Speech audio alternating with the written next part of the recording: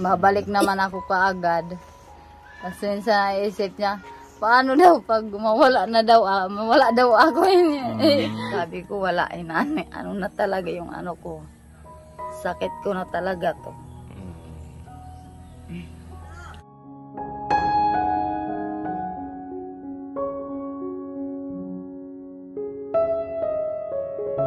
Pabalik-balik lang Mm. Naanuhan ko. Wala nang iwan ko, hindi naman to na wawala eh.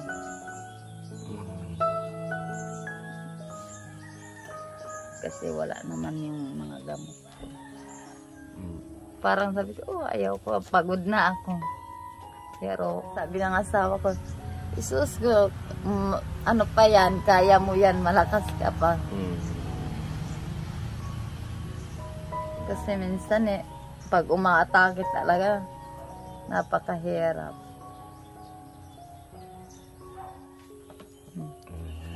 Yan. Asan si Kuya? kuya. Ayaw niya nakikita ko na umiiyak. Oh, si Kuya. Mm. Kaya pala umalis siya. Umiyak. na ano siya, nalulungkot. Pag kumain ako ng kanin, lalaki ng ano, tapos sasakit na naman. Mm. Yun. Kaya eh, minsan hindi na ako manok, makain pa unti-unti na lang. Mm. Kasi nahihirapan din pagtingin sa akin.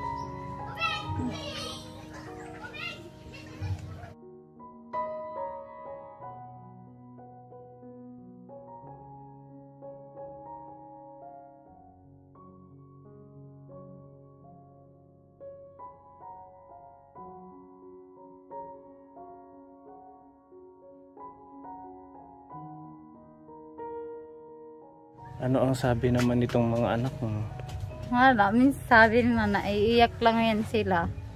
Tapos pinuntahan nila ako isang beses doon. Kailan pa daw ako uuwi?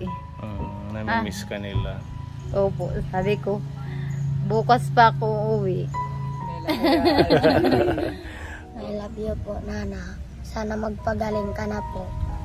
Mamasyal na tayo. Mm, kiss kay nana.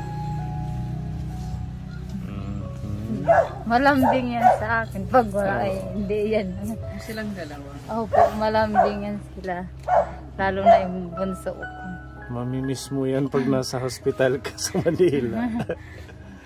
Laging nakayak kay Nana. Ayan. Ano ko lang message sa mga anak ko, mag-aral ng mabuti. Huwag pasaway. Mm, Mahal na mahal kayo. mhm. Ayan, love-love kayo ni nanay nyo. Isipin nyo lang gagaling siya. Opo. Mm, Sabi nga ng asawa ko, bakit daw tapos yung doktor na iba hindi nagsabi. Nagtanong, nag-ano din siya sa doktor ko na ano, ngayon yung humawak.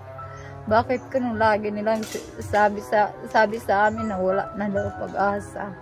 Salamat sa Sir Pone. Lagi kang nandyan. At malaking tulong. Ano mo sa amin. Maraming salamat talaga. mm, wala yun. Ate Aileen, gusto kong gumaling ka at maging ah, masaya ang pamilya mo. Kaya, laging mag-pray kuya para kay nanay. No? Opo. Kuya Clifford. Franklin. Kuya Franklin. Laging mag-pray kay nanay ha. Hindi na, imbis maglalaro sa kalsada, sa kapwa bata, ay yan na lang, taga-massage sa nanay niya. Kaya laging nakabantay sila sa nanay nila. Naninigas yung paa mo, Ate Aileen. Opo. Pag natutuntun, pag naka, ano, namamaga. Mm. Kaya laging na ano, pinaka, Pinapamassage. Ang sipag ni Kuya. Opo. Buti na lang mababait ang anak mo, Ate Aileen. Mm, Buti na lang hindi itong mga lakwatsero. Mm, nakakapaglakwat siya pag wala ako. mm. Pati yung kanilang paglalaro na ano na din. Na-bypass na. Dito na lang kay nanay nila. Focus na lang madala sa'yo. Kahapon nanguha yan ng talbos ng kamuti. Siguro wala silang ul- ulaw kahapon. Oo, wala kaming ulam. Hapon ng reportera. Kahapon nandito, nung isang araw nandito. Ngayon na. nandito. Kasi, mahal na mahal natin si Ate Eileen. Mm-mm. Malungkot na malungkot. Naiyak na, tapos maya maya nagpunta dun sa likod para hindi na, para hindi ko makita na. Opo, pero nakatulo na yung luha niya dito. Grabe. Kasi gusto niya nang pumunta. Hindi nga masyado rin nakatulog. sabi niya. Sabi niya. Nakausap ko nga sila kahapon at sobrang masaya dahil, uh, ayan, okay na. Makapit na lang ako sa lahat ng tumutulong tapos ano sa Panginoon. Yun lang ang ano ko. Gumaling talaga ako. Iyakap ako din sa nanan ko, no. Hindi ako matutulog. Kailan ko ako, no, ah, ano kasi, kakahawak lang daw siya sa akin. Iniisip niya kasi na alis na Opo. kayo. Sira ang ano niya. Gusto niyang sumama. Sabi ko, hindi pwede, hindi pwede yung mga bata doon. Yung mga anak ko, ano kaya pag nandun na ako. sabi, kaya nga sabi niya, hindi ka na agad uuwi na, na dinadala mo naman yan lahat. Kasi wala naman akong ibang gamit, sa ibang damit. Di yan lang ang dadalhin ko. Aalis na talaga kami mamayang gabi. Mm. Sino ang nag-iiyak? Si Aljan. Kaya pala umalis siya. Saka, ah, minsan ito, tulala. Ito yung maano sa akin. Ito yun yung laging gusto Kuya kasama. Franklin. Opo.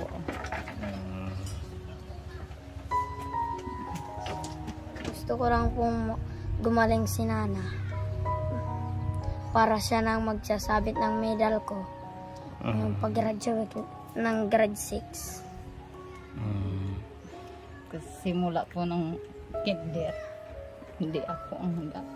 Dahil sa sakit ko nung, nung nag-graduate, nag, ano siya ng kinder, ang kapatid ko lang kasi nandun ako sa Tacloban nung ano, ka-admit. Mm. Hindi ma hindi ikaw yung suma- nagsasabit sa kanya. Opo. Sumasama sa recognition. Opo. Hindi pa kahit isang beses kasi laging ma-attack yung sakit ko. Mm. Kumbaga, namimiss ka niya na ikaw ang... Opo. Ang ano niya, sabi niya na magpagaling ka kasi. Kagalingan daw niya sa pag-aaral para ako daw yung sumabi sa kanya ng ano. Kasi naiingit siya sa mga kaklase na mga nanay nila ang nag-aan sa kanya. Sino ang sumasama sa'yo, kuya? Ang an anti-meregres ko. O sa masaya ako kasi maraming tumulong sa akin at makapunta ako doon. Kakayanin ko po yan. Kahit anong Mm. Pag gumaling si Ate Eileen, sobrang saya ng lahat. Aljanre B. Akla with highest honor. Tadada, tada. Akit na si Nanay Aileen. Mm, sige nga, sabit na, sabit na Ate Eileen. Kunwari may medal. Ayan. Walang kiss. Ay. I love you. Bago daw ako umalis, gawa daw. Yung hula ng ano, dahon ng uh, Niyog. nyug. Oo. Maganda to. oh. Opo, maganda Ito yung yan. ginagawa natin dati. Opo, yung Lalaro. laruan.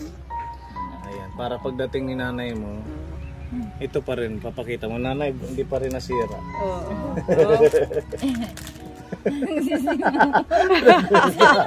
Pero kay ganun. Uy, ay, Jerry, okay lang yun. Talaga namang nakakaiyak.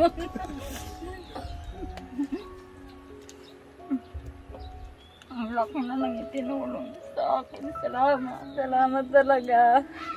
Mm. Napakalaking tulong niyo sa akin. Salamat talaga. Salamat po sa lahat. Opo. Wala pong ano man Ate Eileen. Sabi ko, hindi na ako iiyak. Kakaiyak pa rin ako. Dahil sa tawa. Sa daming tumutulong sa akin. Salamat talaga. Hmm.